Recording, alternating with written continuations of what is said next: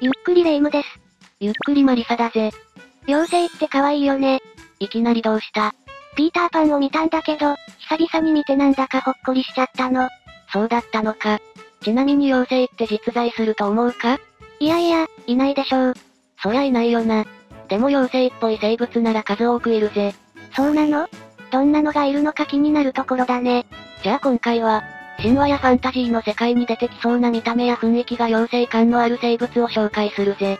それでは、ゆっくりしていってね。まず紹介するのが、アオスソヒキヤケハだぜ。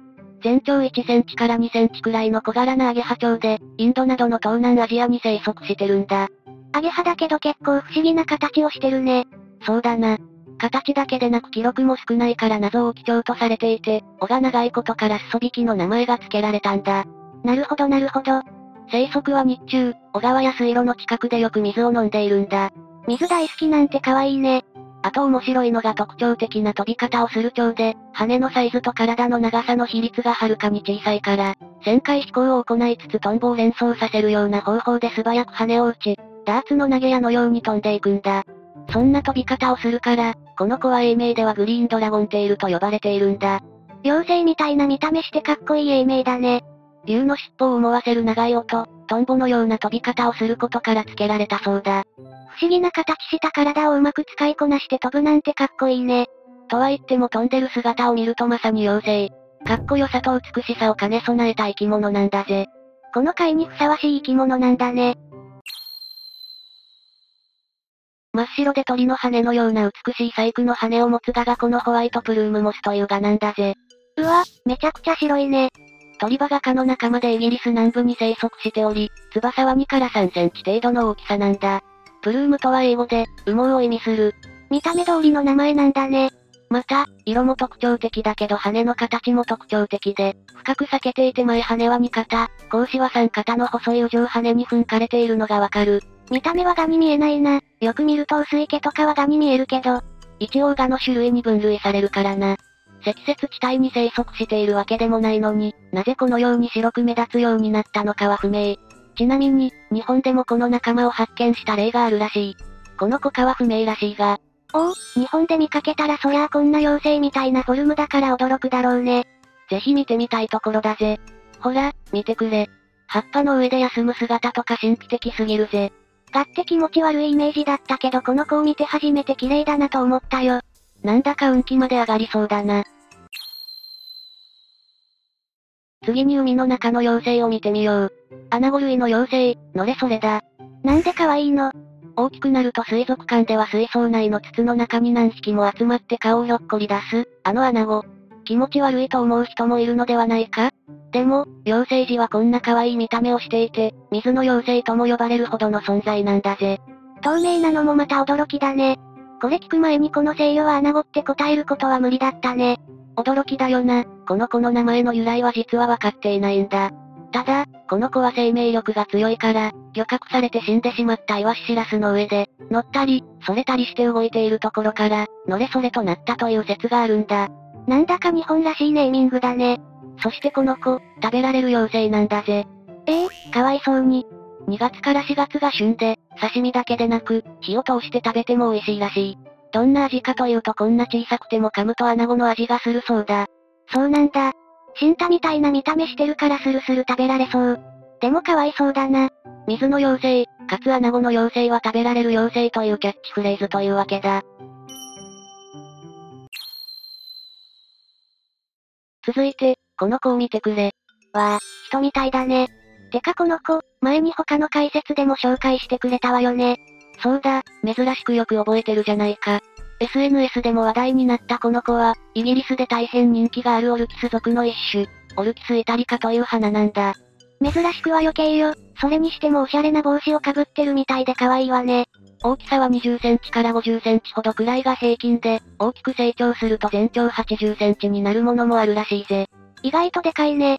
ほら、全体の写真を見てみると結構大きいことがわかる。よく目を凝らすとこの子がたくさん見えるぜ。一匹じゃなくてたくさんいるところもすごく魅力的で妖精さんみたいだね。ちょっとファンタジー感ないこと言うとこの子の俗称は裸の人の乱という意味なんだぜ。よく見ると足の間に男のシンボルがあるようにも見える。前の解説でもそんなようなこと言ってたけど、ファンタジー感壊されて悲しいよ。すまんすまん。さて、ちょっと認知度の高い妖精を見てみよう。クリオネだぜ。北海道とかで見られる有名な妖精さんだね。では問題です。この子は何類でしょう？クリオネ類とかじゃないの？全然他のと違うフォルムしているし。ブー。正解は貝殻を持たない巻貝の仲間で、複足類巻貝類に属しているんだぜ。え？えー、貝なのそうだぜ。日本で見られるこの子は、ロシアのシャンタルスキー湾に流れ込むアムール川の淡水が凍った流氷が南下して北海道まで流れてくるんだ。その時にこの子もこの流氷と一緒に北海道までやってくるんだ。ロシア産のクリオネなんだね。そういうことだ。生体の体長は1センチから3センチ程度で、寿命は2から3年と言われている、短命の生物なんだ。まあ、確かに長生きなイメージはないな。全体が半透明で、中央に見える赤い部分は内臓器官で、頭に見える部分は口の役割を果たすんだ。捕食の際にはこの部分が割れ、中から触手が伸び、獲物を押さえつけて食べる以外と恐ろしい一面もあるんだぜ。怖。妖精じゃなくて悪魔じゃん。肉食であるクリオネは、餌となるマキナという小さな貝を食べるときは、頭が大きくパカッと割れて、そこからニョキッと6本の触手バッカルコーンが飛び出してくる。じわじわと食べて、なんと6時間もかけて餌を食べることがあることも確認した研究結果もあるそうだ。もうクリオネを可愛く思えないよ。ほら、捕食シーン画像をいろいろ見てみて。うわぁ、見せないで次に頭が黄色い魚、イエローヘッドジョーフィッシュを紹介するぜ。本当に頭が黄色い、かわいいね。メキシコ湾からカリブ海に分布しているアゴアマダイカの海水魚で、ブラジルにも生息している。水深3から40メートルところに生息し、砂底や細かな砂利底、砕けたサンゴの混じる砂底に、縦に伸びる巣穴を作って生活しているんだぜ。縦の巣穴作るとかまるでチンアナゴだね。顔もちょっと似ているしな。あまり遊泳することはなく、巣穴から頭だけを出していることが多いんだ。たまに巣穴の周りでホバリングしているらしい。魚なのに縦泳ぎなんだ。なんだか色々珍しいね。面白い魚だぜ。食用としては利用されず、観賞用として人々と関わっているんだ。見た目の可愛さと生息地からカリブ海の妖精という名を持つんだ。日本でもアクアリウムで飼ってる人が結構いるみたいだね。かわい次は鳥の妖精さんだぜ。おお、どんなのだろう。一番可愛い動物アンケートで一押しされていたのがこのシマエナガと呼ばれるエナガ科の鳥だぜ。あら、かわいい。でしょ。日本にも生息していて、まん丸ふっくりとした体で尾が長いこの子は、森の妖精とも呼ばれるほどだ。見ているだけで癒されるね。ちなみにこの子、北海道に生息しているものは写真のように頭部全体が白いので、小さな雪だるまみたいで、雪の妖精とも言われるぜ。場所によって色合いが違うんだね。体長は12センチほどだけど、長い尾羽を含んだ長さなので、実際にはスズメよりも随分小さいんだ。また、オスとメスはほとんど同色で同型なので区別はできないんだぜ。ちっちゃいね。そういうところも愛くるしいね。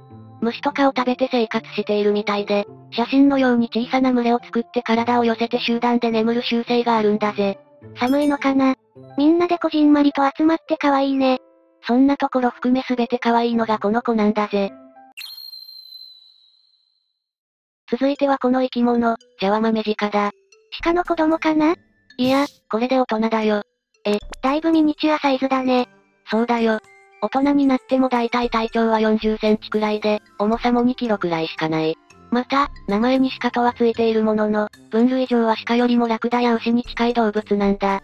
生息地はアジアとアフリカの熱帯雨林にいるんだ。じゃあ牛とかにしたらよかったのに。そこは大人の事情があるんだろう。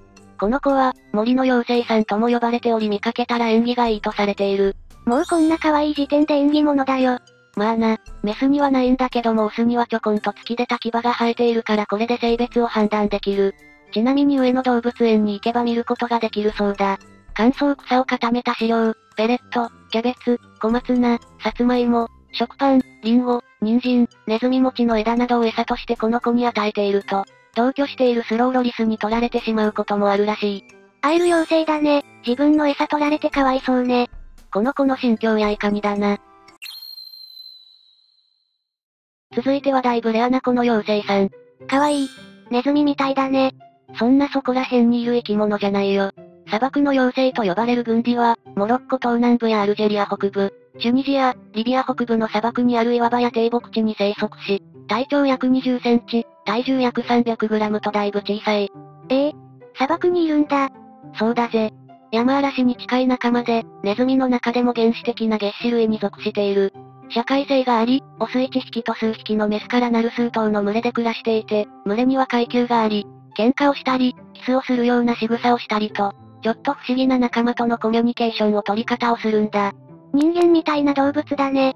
飼育されているこの子は少なく、ヨーロッパの一部と日本では神戸動物王国と、埼玉県子供動物自然公園でしか飼育されていないすごくレアな生物なんだ。出会える場所が少ないという点もまさに妖精さんだね。続いても砂漠の妖精さんをご紹介しよう。それがアルゼンチンの砂漠に生息している、ヒメアルマジロだ。手に乗ってるね。すごく小さいんだ。そうなんだよ。世界最小のアルマジロであるこの子は、英語ではピンクフェアリーアルマジロと言われている。しかも、名前だけではなく、妖精のようにその生態も謎が多いんだぜ。そうなんだ。しかしすごく可愛いねこれ。体重も 100g くらいしかないからね。本当に小さいんだ。アルマジロってこんな小さいのいるんだね。知らなかった。アルゼンチンの乾いた砂漠地帯にしか住んでおらず、一生のほとんどを地中で過ごすんだ。この子のピンク色の外角には多くの血管が通ってて、それがピンク色に見えるんだぜ。それ以外の部分は真っ白でふわっふわの細かい体毛に覆われているんだ。血管でピンクに見えるのか。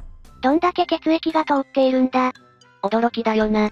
また、ほぼ地中にいるからあまりにも発見しにくく、希少種なのか、それとも絶滅危惧種なのか、はたまた単に限りなく見つけにくいだけなのかすらも不明だったんだ。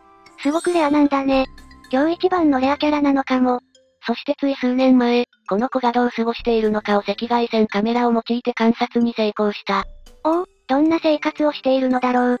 それまでは砂の中を泳ぐように移動していると考えられていたこの子だったが、実際は砂を掘っては後ろ向きに穴に潜り、平らなお尻でペタペタと固めて巣穴を作っていたことが判明した。動きまで可愛かったということだ。小さいながらけなげに生活してると思うとなんだか微笑ましいね。最後にご紹介する妖精さんは、北方年エビだぜ。なんか普通のエビとはちょっと違う見た目だね。漢字で書くとこの子は北方年エビって名前なんだ。ということは日本由来のエビ？そうだぜ。世界でも石狩湾沿岸の海岸林と青森県の下北半島でしか分布が確認されていない、日本の固有種なんだ。ただ、甲殻類ですが殻はなく、名前にエビとつきますがエビの仲間ではないプランクトンなんだぜ。なんだそりゃ。いろいろ無茶苦茶だね。11対の足を持ち、背中を下に向けて泳ぐんだ。また、生態としては、毎年4月上旬に、石狩の積雪が溶けて融雪プールができると孵化した北方年エビが見られるようになり、3週間ほどで成熟し、直径約0.4ミリの球形の卵を産む。5月頃、プールが干上がるまでには生態は死滅してしまうんだ。でも、産んだ卵は乾燥に強く、干上がった後も夏の高温と冬の低温にも耐え、翌年以降の春、再びプールが形成された時に孵化するんだ。わずか2ヶ月で死んでしまうなんて儚い。また、この子の生息地である石狩の海岸林内では現在でも融雪プールは数多く作られるものの、広さや水量は年によって変わるのでこの子の生息環境はかなり不安定なんだ。かわいそうだね、絶滅とかしないでほしいな。そんなこの子だが妖精たるゆえんは名前にある。英語名はではフェアリーシュリンプ、つまり妖精エビと呼ばれている。方面エビ要素ゼロじゃん。見た目が妖精っぽいからかな？そうなんだろう。わずか2ヶ月しか生きられないものの、卵を産んで次へと繋げていく、そんな儚さにもまた妖精っぽさを感じるな。そうだね。今回の解説どうだった？妖精がより好きになったよ。見た目だけではなく本当になかなか出会えなかったりする子もいてより妖精っぽかったね。確かに。出会えただけでももうラッキーなのかもしれないな。後でもう一回ピーターパン見ちゃおうかな。余韻に浸りすぎだろ。ということで神話やファンタジーの世界に出てきそうな見た目や雰囲気が妖精感のある生物を終わりにするぜ。最後までご視聴ありがとうございました。